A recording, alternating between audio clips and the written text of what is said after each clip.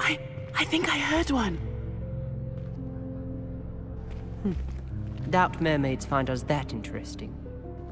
Ah, based on all the chatter when you entered the common room, I'm guessing you're the new fifth year. I'm Ominis. Ominis Gaunt. Nice to meet you, Ominis. Well, you certainly had a memorable arrival. Well, if I'm going to make my mark here, I had to start right away. Ha! You're definitely in the right house. Do let me know if I can be of any help as you navigate your first days here, though I doubt you'll need it.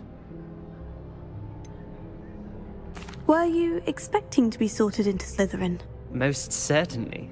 My family on my father's side are direct descendants of Salazar Slytherin, one of the four founders of Hogwarts. Not something I'm especially proud of, mind you. He was obsessed with blood status, a pure-blood maniac. Unfortunately, most of his descendants do not fall far from that tree. Did that student say he thought he heard a mermaid? yes, but I've never heard of a mermaid showing up outside our common room window. It is fun to play along, though. Been known to keep some first years on the lookout for hours. Thank you, Ominis. Very nice to meet you. Pleasure was all mine. Don't be a stranger.